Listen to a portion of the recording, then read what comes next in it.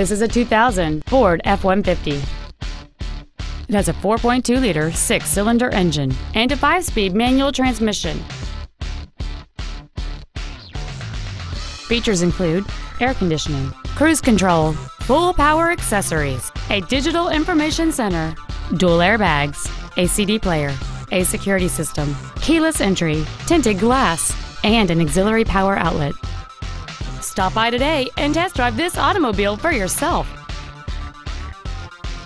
James Wood Auto Park is located at 3906 Interstate 35E South in Denton. Our goal is to exceed all of your expectations to ensure that you'll return for future visits.